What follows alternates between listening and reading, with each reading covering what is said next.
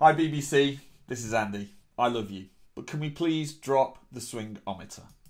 You used the swingometer for just about every seat that was declared last night, and really, the numbers are good, but look at those bars. They all kind of look the same. Let's have a look at these four. Four very different numbers, but the bars are about the same length. In fact, I tried to decode the scale of your swingometer using these three values. Let's look at the first one. This is 2.2%, which seems to be about here. So we'll put that on here, on the main one here. Okay, swingometer number two. That value is 10%, which looks like it's about here on the swingometer.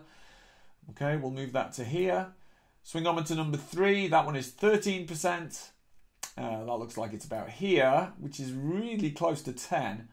And finally, this big one itself is 18%. Well, where does that go? That's here. So you've got loads of space for the first 10%, then everything is squeezed into that second bar. And what is the top? Is it 20%? Is it 25%? I don't know. And what if the swing was 30% or 25%? Would it kind of break the gauge completely and go over the top into a different segment? I don't know.